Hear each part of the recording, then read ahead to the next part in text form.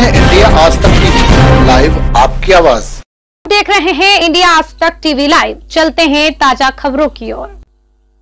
खबर रेउसा से आई है, जहाँ पर प्रसूता की मौत के बाद स्वास्थ्य विभाग के जिम्मेदार अधिकारियों ने रेउसा विश्व मार्ग पर स्थित फर्जी संचालित जायसवाल क्लिनिक को सील किया। साथ में पुलिस बल भी रहा मौजूद।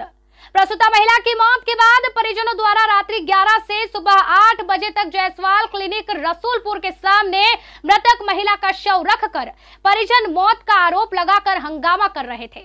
घटना की जानकारी पाकर मौके पर पहुँचे थाना अध्यक्ष में फोर्स के साथ परिजनों से वार्तालाप कर उचित कार्रवाई करने के निर्देश देते हुए मृतक महिला के शव को पोस्टमार्टम के लिए भेजा। स्वास्थ्य विभाग की घटित टीम द्वारा अवैध संचालित जायसवाल क्लिनिक को मंगलवार की शाम तीन बजे सील कर दिया गया है।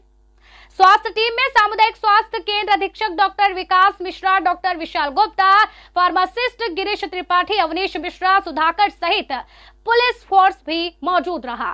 देखिए पूरी रिपोर्ट।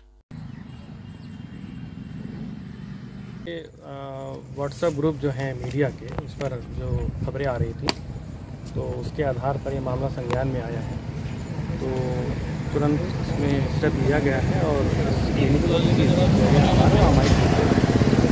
और जो भी ये संबंधित व्यक्ति से है उससे सवाल जवाब होगा और बाकी यहाँ की जो रिपोर्ट है हमने अपने उच्च अधिकारियों को प्रेषित की है तो कुछ डॉक्टर यहाँ पर कुछ डिग्री वगैरह कुछ हो या रजिस्ट्रेशन वगैरह नहीं यहाँ पर फ़िलहाल अभी कोई तो मौजूद नहीं है जिससे बात कर सकें लेकिन ये कोई रजिस्ट्रेशन नंबर भी यहाँ पर ऐसा लिखा नहीं है जिससे ये प्रतीत हो कि ये रजिस्टर्ड है।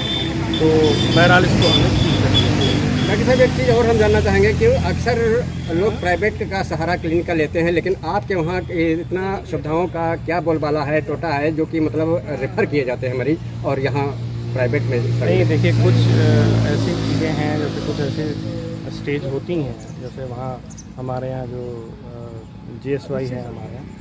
जहाँ पर उच्च, जो हायर सेंटर होते हैं, उनकी आवश्यकता होती है। कुछ ऐसी समस्याएँ होती हैं तो उनको जो है हमारे यहाँ एंबुलेंस से उनको प्रॉपर तरीके से उसको रिफर किया जाता है। लेकिन ये तो मेन रोड का क्लिनिक था और हमेशा आप भी और उच्च अधिकारी भी ज़िले के विभागीय सब गुजरते थे और सभी की नज़रों के सामने था और कभी आज तक इस पे नहीं बिल्कुल अब कार्रवाई हुई है लेकिन और आज अचानक ही अब इसके बाद भी जो और भी हैं जो आसपास में सब सबका चिन्हीकरण होगा सबसे लगातार कार्रवाई होगी। अच्छा इसके अलावा डॉक्टर साहब जो इस मामले से संबंधित आशा बहू है उस पर क्या कार्रवाई की जाएगी? जाँच का विषय है इस पर जाँच होगी और जो भी है होगा उस पर निश्चित कार्रवाई डॉक्टर साहब क्या कहीं कोई घटना घटित होने के बाद ही कार्रवाई की जाती है? इससे पूर्व भी कार्रवाई की आवश्यकता समझी जा रही है।